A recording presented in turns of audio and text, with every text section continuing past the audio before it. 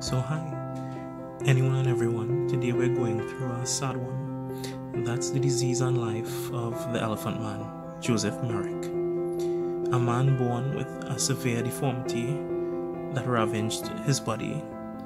For the longest time, scientists thought Joseph suffered from a genetic disease known as neurofibromatosis 1. It's a disease that causes the growth of nodules all over the body. Later on, however, they discovered that this wasn't the case. He was actually plagued with a disease known as Proteus syndrome. So let's get started with a brief history of the life of Joseph Merrick. So he was born in August 5th of 1862 and died in April 11th of 1890 in England. As you can see, he died pretty young, but he had a lot of suffering in that short period of time. Why? Because people can be really horrible sometimes. Before he was born, his mother was scared by an elephant, and in that time they believed that was the cause of his deformity. As a young boy, his mother, one of the few people who loved him in spite of his deformities, died of pneumonia, and he had to live with his abusive father and stepmother, who saw him as a burden.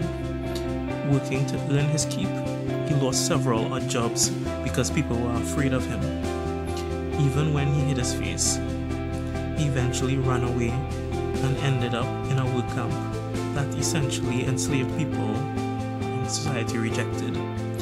Later in life, he joined a freak show briefly, and he actually started making some money, but even that fell through.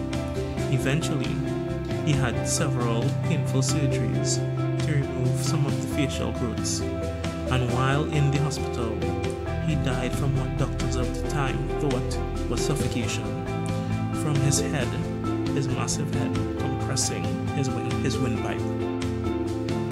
So now for the science.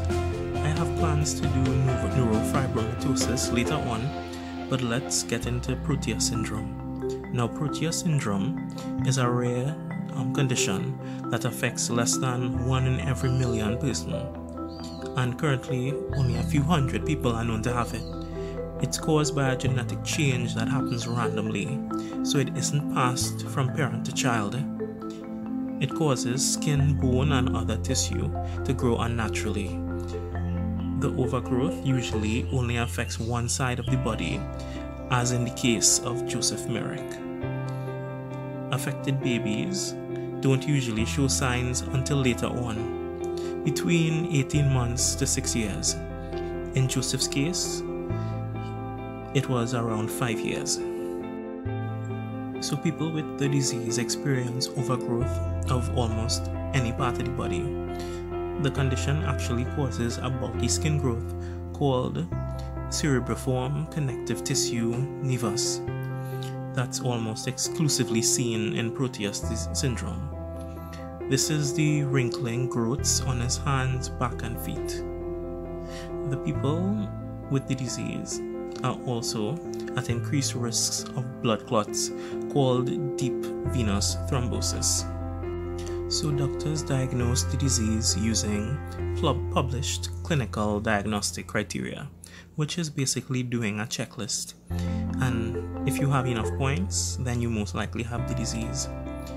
Also, DNA tests are done on the tissue that can be cut out, what we call a biopsy, and you can look at the affected you can look for the affected gene which is called AKT1 so proteus disease has no cure so the next best thing is symptom management with all the tissue overgrowth sometimes surgery can be done to help with mobility and comfort.